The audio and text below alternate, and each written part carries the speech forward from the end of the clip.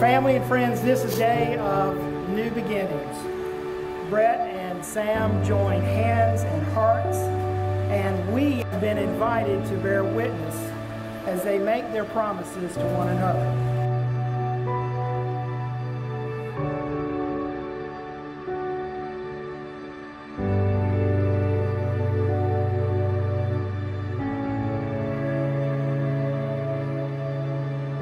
This marriage, Brett and Sam are called into a new way of life.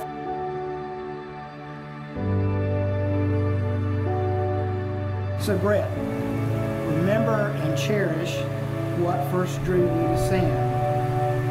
Her smile and her laugh, and her adventurous spirit, and her big goals, and her unwavering support of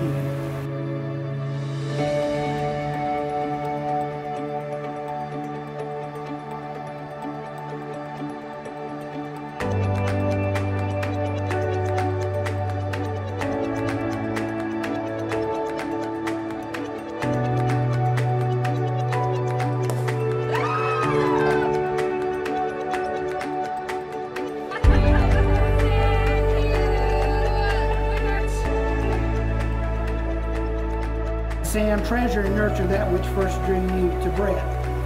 His height, his infectious laugh, the way he cares for others, and how he makes you happy and safe and loved.